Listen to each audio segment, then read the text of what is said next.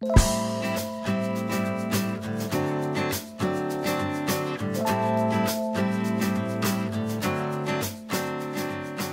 the human stories, the, the family members, the loved ones, the friends who are uh, supporting uh, individuals who are struggling with, uh, with real challenges. Uh, we need to be more compassionate and more open as a society, but also more understanding.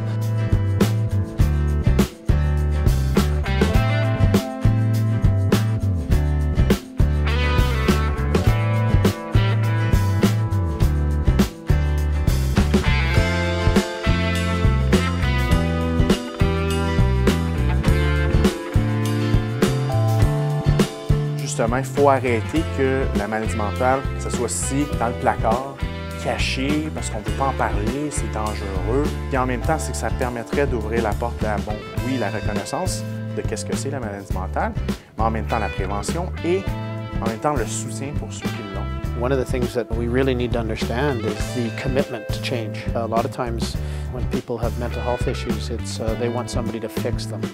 And the reality is, is the only person that's going to fix them is the individual. And it's going to take a commitment every day.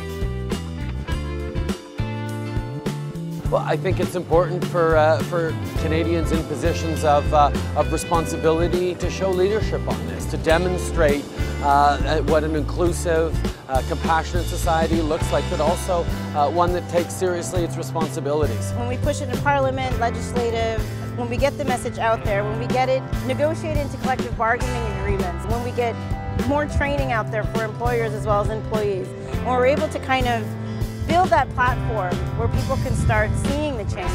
I hope this project helps bring us to that platform.